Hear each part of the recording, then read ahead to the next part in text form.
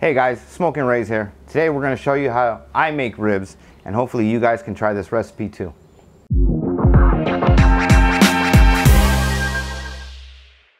Get ourselves a nice St. Louis cut spare rib here.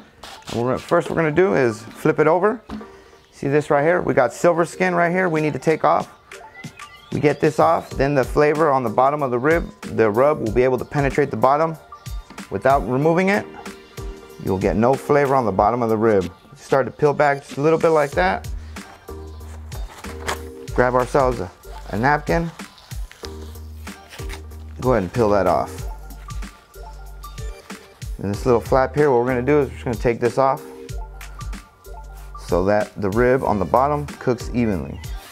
We don't want no excess right here. We wanna be able to get this rib to cook evenly. And this part, seeing how it's thin, we're just gonna go ahead and take that off. It looks a little bit more uniform. And what we'll do is come over here, square that one up. This little part here, go ahead and take that off. So we went ahead and cut this part off because as you can see here, it's unedible. No one's gonna be able to eat that. More square right there. And we have all the meatier parts right there. What we're gonna do first is we're gonna season the bottom of the rib so we can let that marinate. And what I like to use is a 7 cents barbecue pork rub. Give it a little bit of salty on the bottom. We're gonna go ahead and season that up. You don't gotta go too much, just nice even coat on the bottom. That's the part that's gonna hit your tongue first. That's what you're gonna taste first. Pat it in just a little bit so it sticks.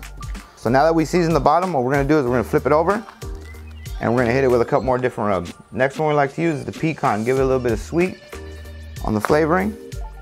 Give it a nice good color. Give that a nice little rub down. We're gonna do next, we're gonna hit it with an all-purpose rub. This is nice, uh, salty, savory. Balance out the sweetness of it.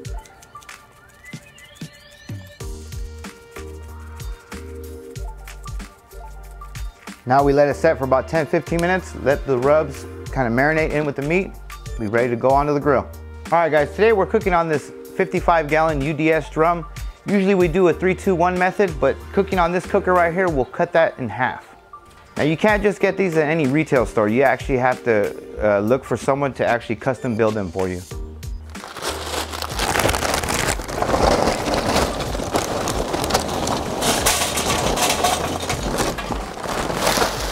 Now that we have our chimney full, take our fire starter, set it right there. Go ahead and get it lit.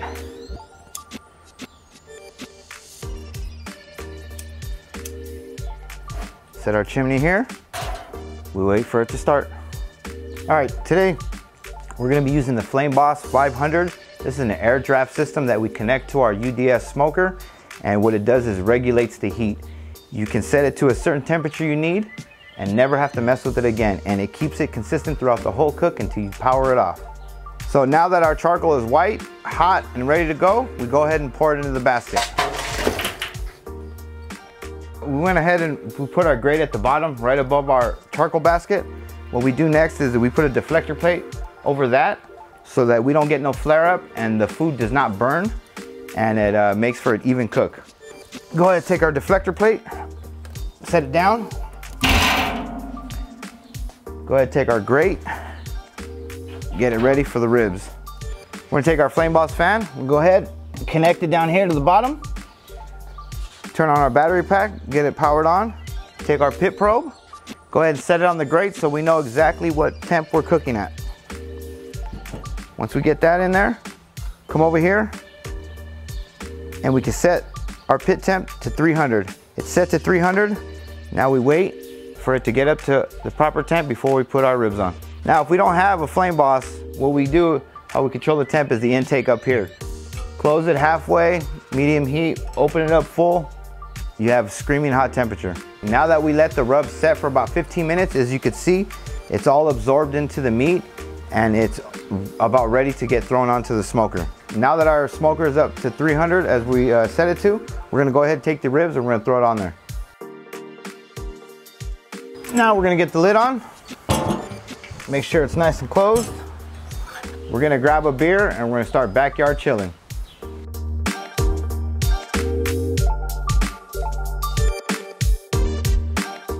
All right guys, the ribs have been on for a little bit. We're gonna go ahead and take a peek at them, see how they're doing. What we're looking for is the pull back on the bone and see if they're ready to be wrapped. Here we go, check it out. The ribs are ready to be wrapped, so we're gonna go ahead and pull them off, get them set in the foil and get them back on the smoker. Pull them off, get them in our foil pan. Get everything set up. Lid back on. Keep that temp where we need it to be. First thing we do is we got our foil laid out. We're gonna take a little bit of brown sugar. Go ahead and sprinkle it in there. A little bit more. We're gonna go ahead and take our rubs that we used earlier to season the ribs. Add a little bit more flavor back into the ribs.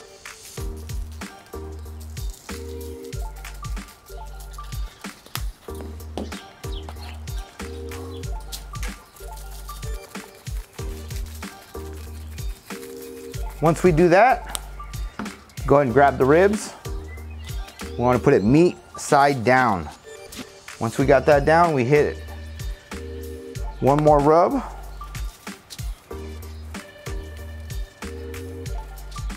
Then, the magic. Get the butter on there. And then, go ahead and wrap it up and get it back on the smoker for about another half hour.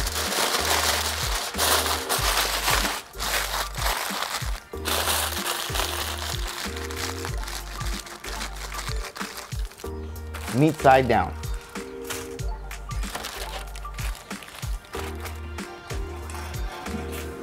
I think it's time for another beer.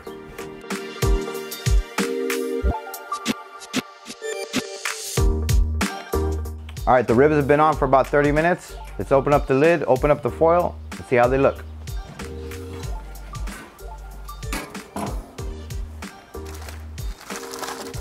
As you can see from the bone pull back here, the ribs are done. We're ready to pull them off out of the foil, get them sauced, and back on the smoker for about another 15 minutes.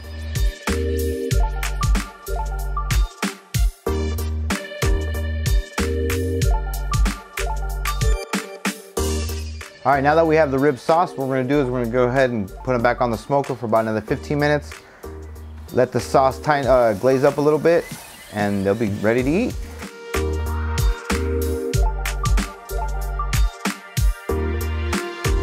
Ribs have been on for about 15 minutes. The sauce set on the ribs. We're gonna go ahead and pull them off, get them sliced up. We're gonna go ahead and flip this rack over, get it cut. The reason why we flip it over is we're able to see the, where the bones are laying and lined up. So we're not cutting into the bone. We can get a nice fresh cut every time.